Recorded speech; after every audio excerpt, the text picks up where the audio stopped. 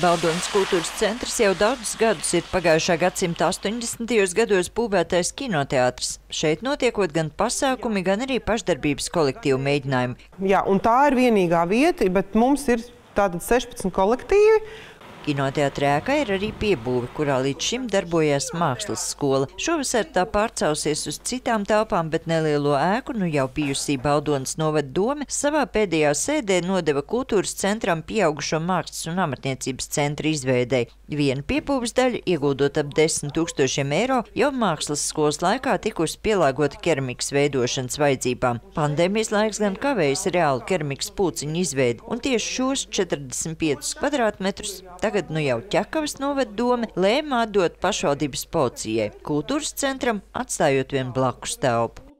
Ja, tas nekas, ka šeit ir atsevišķi ieeja. Ir, ir viens sanmezglis, kā tas tiks realizēts. Un, un otrā telpā blakus, pa blakus durvīm staigās mākslinieki un pulciņi un ansambļi. Kā tas tehniski, kur, kur ir loģika notiksies? Nu, man šķiet, tā ir tiešām netaisnība, jo Baldonē radošie cilvēki ir ļoti apdalīti. Viņiem īsti nekad nav bijušas telpas. Un, un kad parādās iespēja šādu amatu māju rīkot, tad, tad mums vēl grib tās telpas atņemt. To, ka pašvaldības policistiem, kur tagad mitinās vienā no kinoteātra mazajām telpām, nepieciešams labāks mājas, neapšauba neviens. Tomēr vienotības par kultūras centra rīcībā esošo telpu samazināšanu, atdodot daļu pašvaldības policijai, nav arī koalīcijas deputātu starpā. Ir arī citi varianti. Nav tā, ka šis bija vienīgais, nu, ka tiešām nav vispār kur, jo pašvaldības domas ēka um, pēc reformas ir, ir vēl klusāka palikusi nekā bija, kad bija Baldonas doma. Un tur ir iespēja izvietot policistus ar atsevišķu ieeju un tā. Tur ir divi varianti. Viena, ja mēs ieguldām divreiz vairāk naudas nekā tagad mums vajadzēs ieguldīt šajos telpās, tad mēs iegūsim tādu pašu platību, kā tagad ir policistiem. Mm -hmm.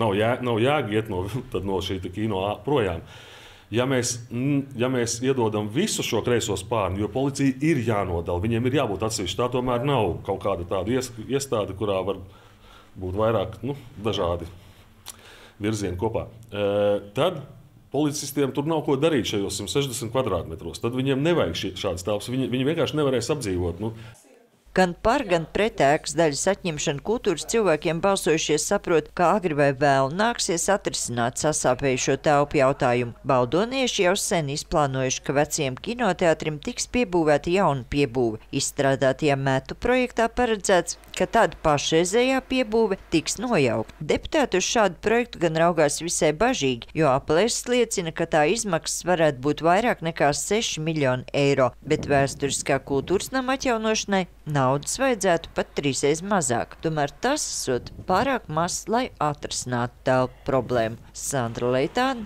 Andris Pāns, RTV.